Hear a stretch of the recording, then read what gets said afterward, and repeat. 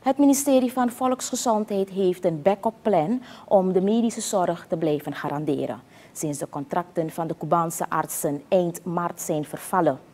Minister Amar Ramadin zegt dat het backup plan inhoudt dat lokale artsen beter gestimuleerd zullen worden om te werken in de gebieden waar de Cubaanse artsen waren gestationeerd. Ik ben de vorige maand twee keer in het gebied geweest, boven Suriname en Tapanahuni.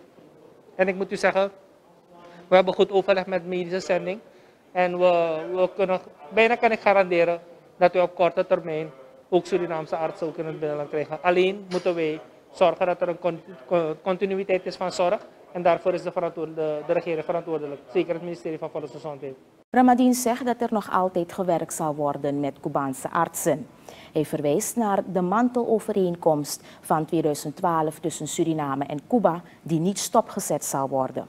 Echter behoeft deze overeenkomst wel enkele wijzigingen, weet de minister. We moeten altijd uh, een toegang hebben tot het aantrekken van buitenlands kader. Vooral in situaties waarbij je niet zelf in staat bent om in te komen. Dus het enige wat er is, ik vind als minister de overeenkomst een beetje nadelig voor Suriname. En dat hebben we open en eerlijk gecommuniceerd met de Cubaanse zijde. En we hebben gezegd, we moeten het gaan herzien. En u weet dat in 2012 een heel andere financiële situatie was dan nu. En uh, wij moeten dus eerlijk voor de dag komen en zeggen van, het is voor ons killing. En met het budget dat we dan zouden uitgeven, kan ik veel meer in lokale kader investeren. En uh, dat is uh, eigenlijk de mening. We willen een efficiënter systeem met hetzelfde budget. Ik denk niet dat we ervoor moeten kiezen om dure programma's te continueren, maar hetzelfde programma's continueren met meer efficiëntie.